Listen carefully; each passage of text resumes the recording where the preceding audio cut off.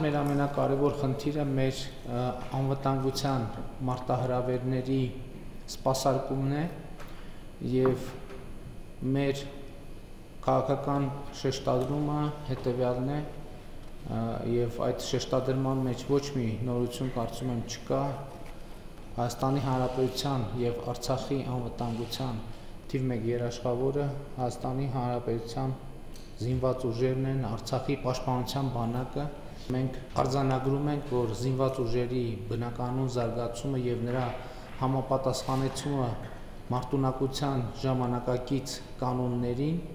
եւ Հայաստանի Հանրապետության եւ Արցախի անվտանգության կարիքներին մեր բացարձակ առաջնահերթությունն է եւ մենք այդ ուղղությամբ պետք է շարունակական աշխատենք ունենալով կարճաժամկետ,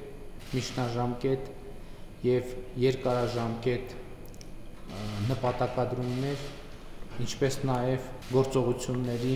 ռազմավարություն։